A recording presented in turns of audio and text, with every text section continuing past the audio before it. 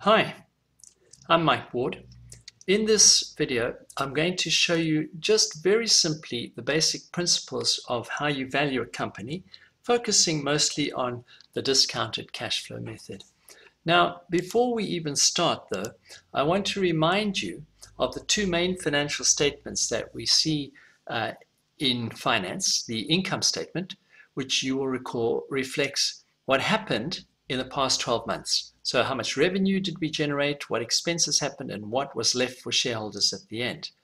But it's not just about that. We also have a balance sheet. And to remind you of why we have a balance sheet here, uh, you know that whenever you spend money in a business, the accountants must either expense it, which they will do if that expenditure related to the to something which was going to um, generate revenue over the preceding 12 months. So if it's if it's something like wages or some sort of expense, it comes in here. Otherwise, it gets capitalized. So if you buy a machine or a building or um, there's stuff which lasts more than a year that the company is investing in here, it gets capitalized, goes onto the balance sheet. So here you're going to find a machine which you paid for in cash up front, but each year you are depreciating across here one portion of that which reflects its useful life such that the revenue's got income and expenses which, which match each other over the most recent uh, 12 months. So one way of understanding that then is when you look at the balance sheet here to realize that you've got, you know, half the use of a machine and you've got a building which will last a while and there are some, there's some raw materials and inventory here which you haven't yet used and sold.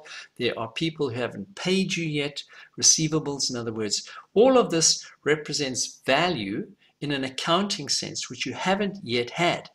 So you can look at the value of the assets in a balance sheet and say, well, that's what the business is worth, half a machine and a few buildings and so on. It's a good start. But if you uh, bear in mind that accountants always work on historical costs and they've got various conservative conventions in how they value assets. So on the other side of the balance sheet here, you'll find that what you owe the bank is correctly reflected here because that's what you owe the bank. But the balancing number here, which is the book value of equity, is likely to be very different to what the market thinks the company is worth if this is a listed company. So if you were to take the number of shares times the share price and compare the market cap of the company to the book value, you're probably going to find, and this would be the average for most uh, listed companies, this is at least twice what this is. So that just you know, requires us to understand that there's a difference. You see, the shareholders are not interested in the assets' historical cost. They want to know what cash flows these assets generate into the future. And we'll talk about the, the near term where we can more or less accurately forecast this, say, and the far term, which is what happens thereafter in the long term, in the future. And we're going to try and simplify this calculation here. And we bring this back uh, into a net present value by discounting these cash flows at the weighted cost of capital. So that's what we're going to be looking at. Now, we need to constantly bear in mind what we're valuing.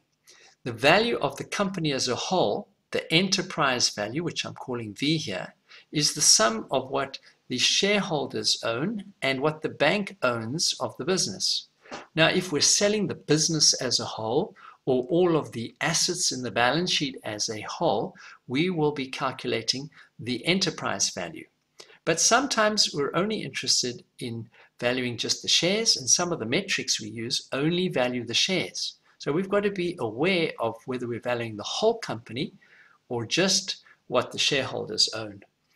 So there are main, four main valuation methodologies that we use. The first is if the com company is listed, that's why I'm putting this in uh, brackets here, because if we had a current share price, we'd immediately know what the, the market as a whole thinks of the company. It would just be the equity would be worth the current share price times the number of shares. And uh, so that doesn't mean it's right. Sometimes the market gets it wrong. and it might be a selling or buying opportunity for investors. So we might want to do our homework as well. But for now, I'm not going to say any more than, of course, if you have this number, you shouldn't ignore it. It's probably the most accurate fix you've got on what the market thinks the share is worth. Now, the um, net asset value, which is what's left inside the balance sheet, I'm not going to spend any time on that because it, it, whilst it's kind of a reasonableness of our valuation, it's really not much more than that. Now, so importantly then, we're going to focus on multiples. And the most common one is the price to earnings ratio, the PE multiple. But we could also use the EBIT or the EBITDA. This is earnings before interest, tax, depreciation, and amortization. Or sometimes the revenue multipliers to give us a value of the business. Now, one thing to note at this point is that the PE ratio gives you a value only of the equity in the business because it's after interest, as you'll see. Whereas these three methods give you a value of the business as a whole, the enterprise value. And so there's a big difference between the answer you get between these two different methodologies. But this is a fairly common and straightforward and easily used ratio. Um, it's low technical input, it's not complicated, and it'll give you a fairly good idea of what the business is worth, but based only on the most recent year. So that if the numbers there are a bit out, that could be a problem. Sometimes we have to make adjustments and smooth the earnings and so on. But uh, it's a good start. But more importantly, we want to focus on the discounted cash flow. This is more technical and so on.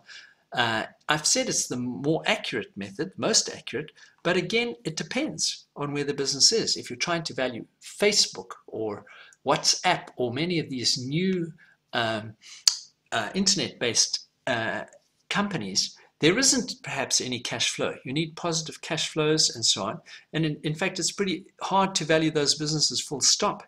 Um, that's beyond what we're talking about today. But this, this works best where you've got mature businesses where there's a pretty certain and established cash flow going into the future.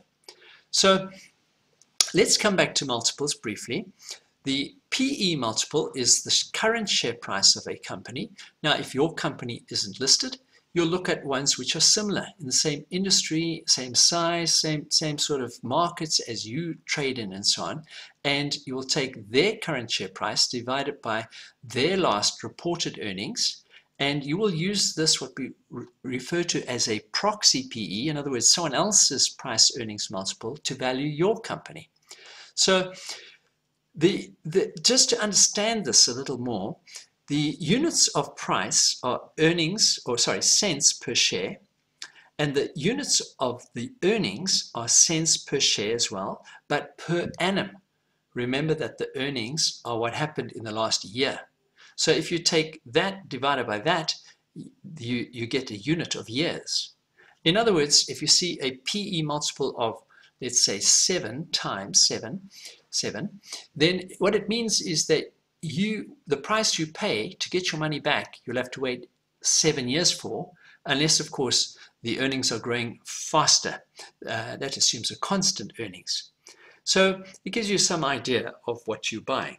Now, you can also, if you invert the PE ratio, we take the earnings divided by the price now, that gives you what we call the earnings yield.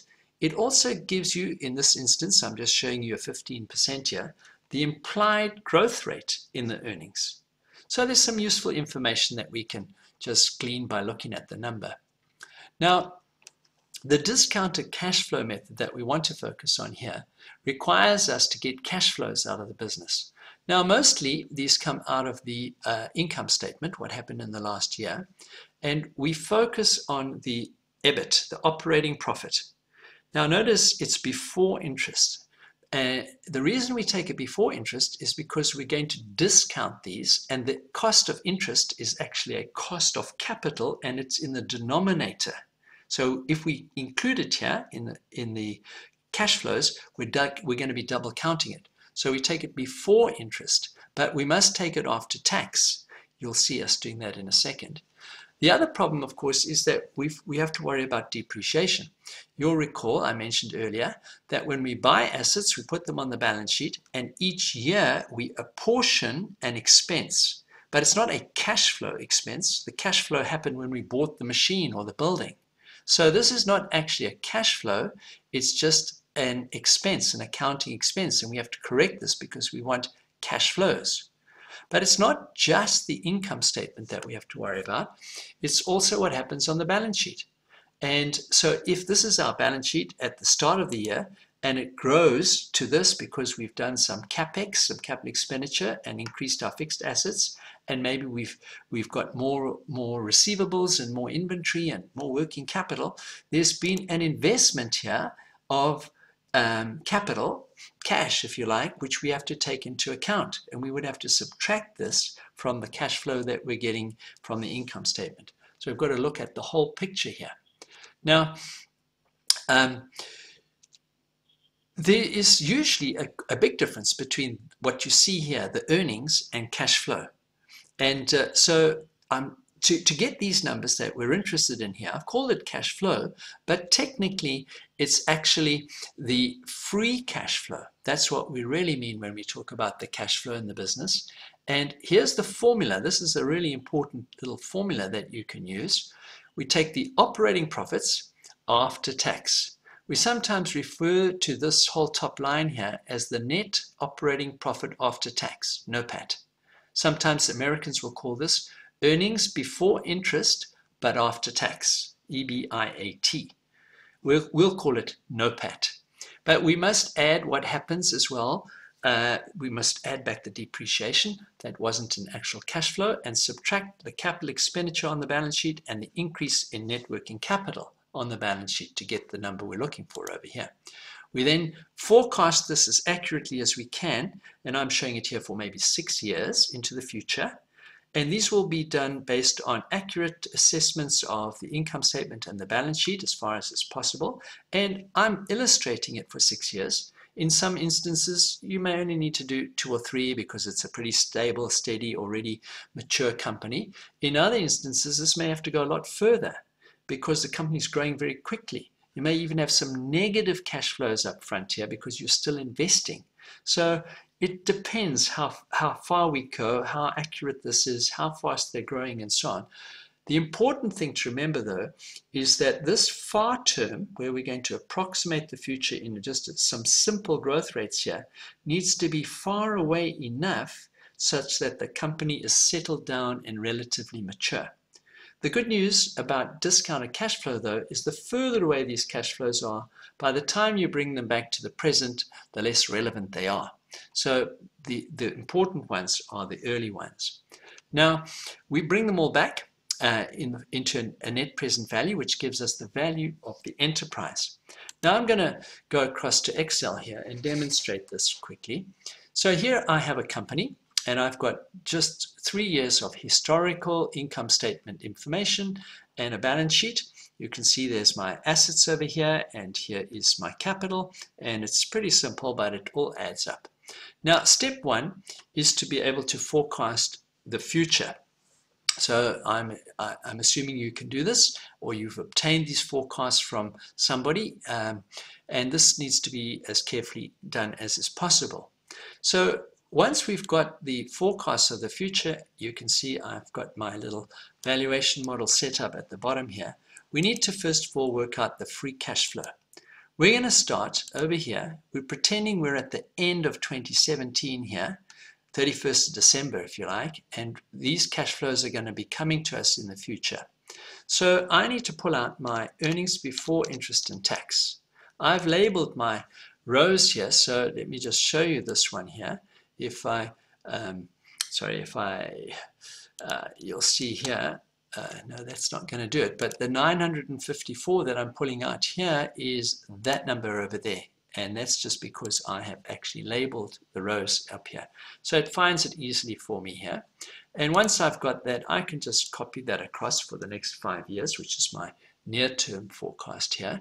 But I need to take it after tax. So this will be equal to my earnings before interest and tax times 1 minus the tax rate over here, which I've got down here at 30%. So I'm putting that in, close the brackets. And in other words, I'm only interested in 70% of that because that reflects the, um, the tax that I would pay.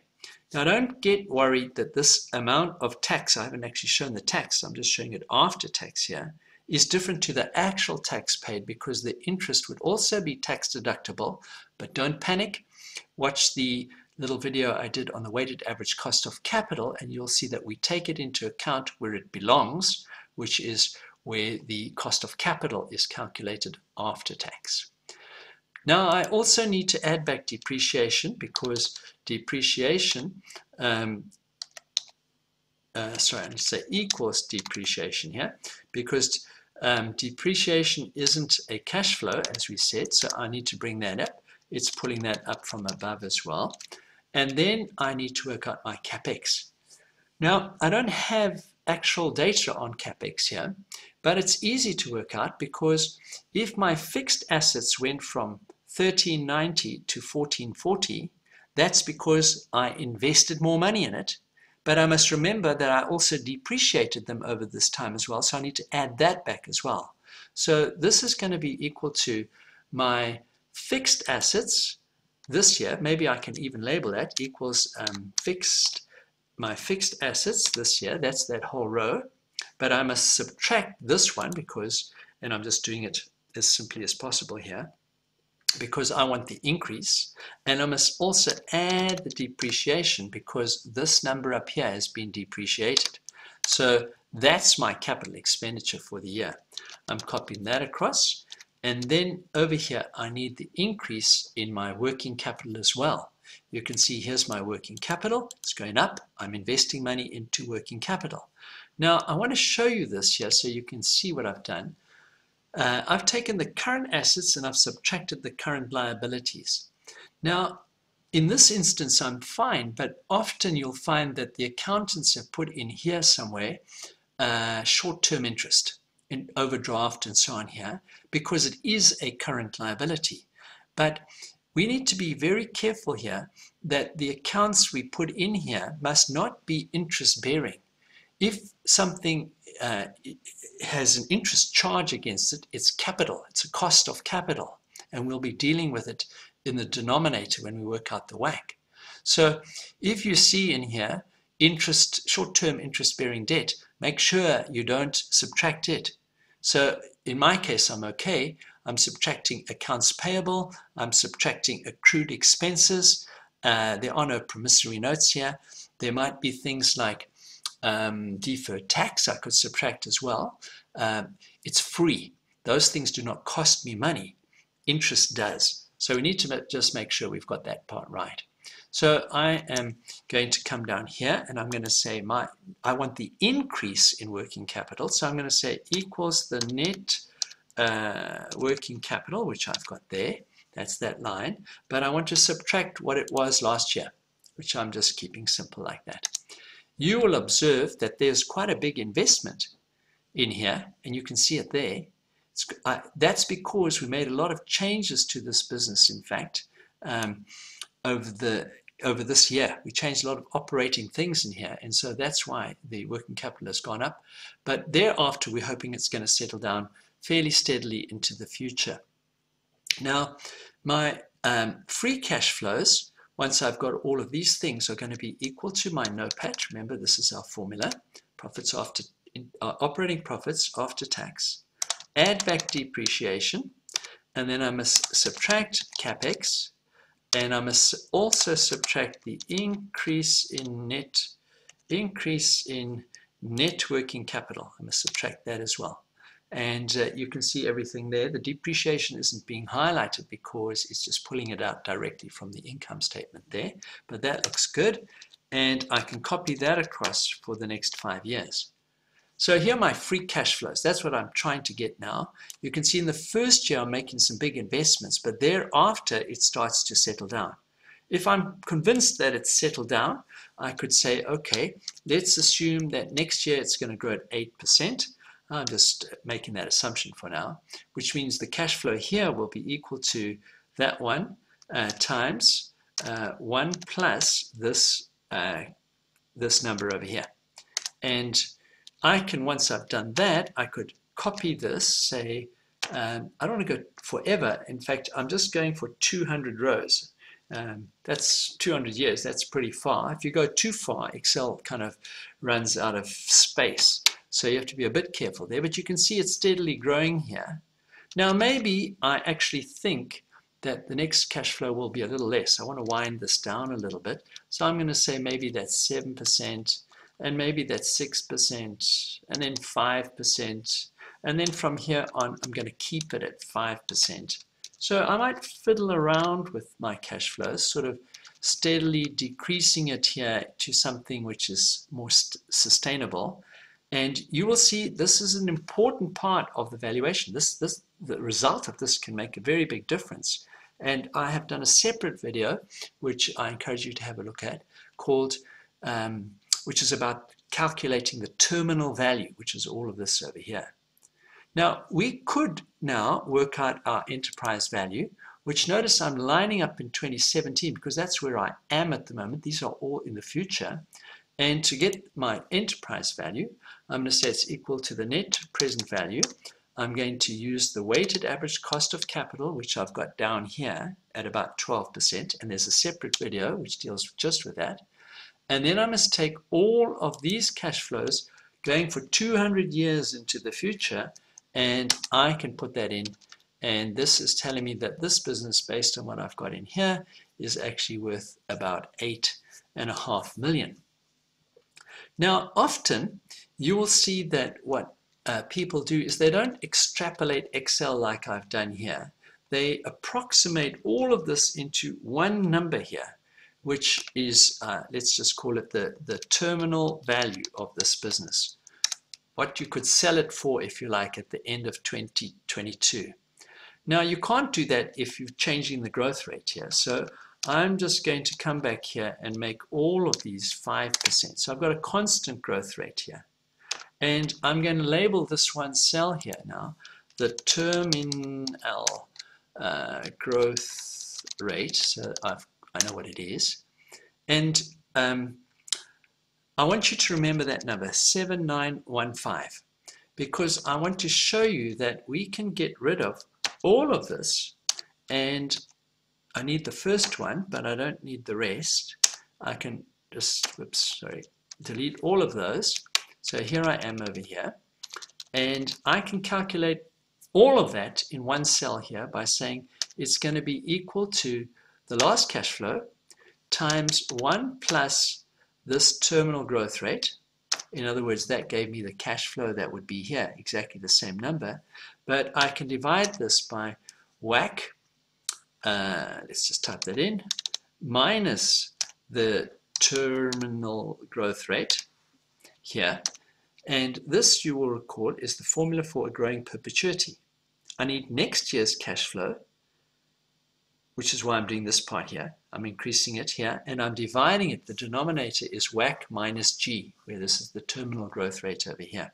And it's going to give me an answer. Notice where it is. It belongs in this year because it's, it's the present, it's the value at 2022 of the future.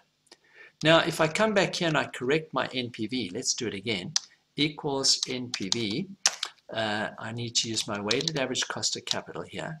Now watch carefully how I do this. I'm taking just those four cash flows and then I put a comma and I'm saying that one plus that one because they have to be in there together like that. And I'm pressing enter and I should get exactly the same number as we had here with all of this going out forever once I changed this to a constant over here. So you can play around a bit with that and uh, see what's more appropriate. You need to, let me just reiterate, these, this number needs to be now growing. You need to, to forecast this one way or the other until you've got a reasonable long-term growth rate here. Watch the video that I did on the terminal growth rate, which will give you some guidance about that stuff. Now, we still haven't finished here. This is the, the enterprise value, but if I want to work out my share price, I would need to um, pull out the debt because that doesn't belong to the shareholders. So I could say that is going to be equal to, where is my debt? Uh, long-term total debt. That's what I want to subtract. Anything you pay interest on, and I'm just going to label it there. So I'm pulling out my total debt in that year. You can see it is just over 2 million. Then my equity will be equal to the difference. One, that minus the debt is obviously the equity. If I know I've got, say, 500,000 shares in this company, I can take the equity value, divide it by the number of shares, and I'm going to get a share price. In this case, 11.81. Now, we should be quite worried about this because you can see a huge amount of the value is sitting in the terminal value. That's normal, by the way. Now, it's useful for us maybe to get a sort of feel uh, and to do this slightly differently. I want to get another fix on this number. So to do that, I am going to, uh, I've got here, you can see a price earnings proxy for this. This I'm pulling off from other companies which are similar to mine. The average share price to their earnings per share is about 15. So I'm going to come over here and I'm going to I'm going to pull out my earnings in the final year. So I'm going to say this is equal to, uh, let's see if where our net income is. It's I've called it earnings after tax actually. So I want to pull out that 696. There it is. Uh, this is going to be, I'm going to call this my net income, just to show you where it is in that year. And here, let's put it across here. I'm going to pull out that number there and I'm just labeling it here so we can see. This is my proxy uh, price to earnings ratio. And if I multiply those two things, that times that, that is going to give me a value for the equity. Remember, this just just gives just gives you the value of the equity, not the whole company. Now, I could compare that to that, but this is five years into the future. So what I'd rather do is if I add the debt that I've forecast uh, here, wherever it is, not much debt. Oh, total debt is actually grown a bit, so I want the debt. If I add the debt in here, I'm going to say equals the uh, total debt again here, which is 3280. You can see it over there. Then if I add the equity and the debt here, that plus that, that's giving me the enterprise value, and I'm hoping that's going to compare with that number over there. Well, that is too close to be true, actually. Um, if I'd chosen 4% here, you can see I'm going to get a very different number here, which gives me very different numbers over here. And it would encourage me to go back and say that's 5%.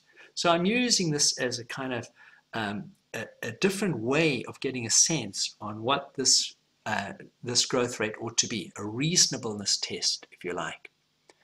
Okay, I think that's enough. We've covered a lot of material here. I hope you find that useful.